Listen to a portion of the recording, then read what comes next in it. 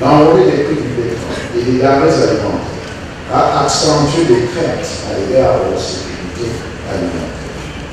Les prix des denrées alimentaires élevés ont pénalisé et pénalisent encore de manière disproportionnée les franges de la population les plus vulnérables, surtout dans les zones urbaines. Dans ce contexte, l'action du gouvernement est plus que jamais orientée vers l'amélioration de la compétitivité et la productivité de l'économie.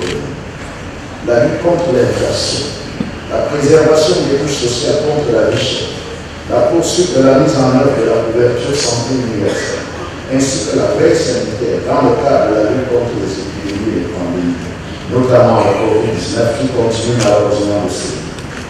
Il sera également question de renforcer le processus de désarmement, démobilisation et réintégration, et poursuivre la reconstruction des régions du nord-ouest, du sud-est de l'extrême nord.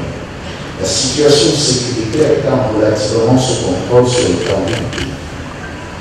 Par ailleurs, le gouvernement s'est fixé comme autre objectif de densifier la mise en œuvre de la décentralisation afin de donner aux collectivités territoriales décentralisées les moyens d'apporter une contribution déterminante à la relance de notre économie.